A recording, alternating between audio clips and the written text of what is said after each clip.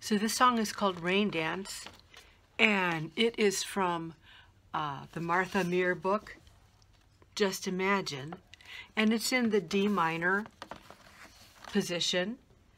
Uh, the hands are in D minor. Pinky is on a D of the left hand. Right thumb is on a D.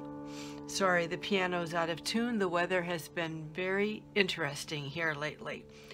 So um, the, the hands never leave the five finger pattern.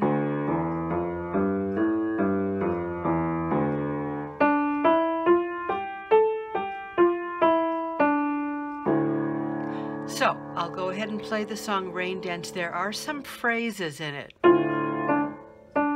Rather than the first two notes are slurred or smooth,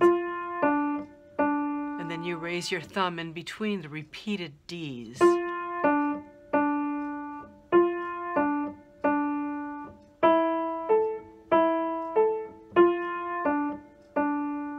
So here it is from the beginning.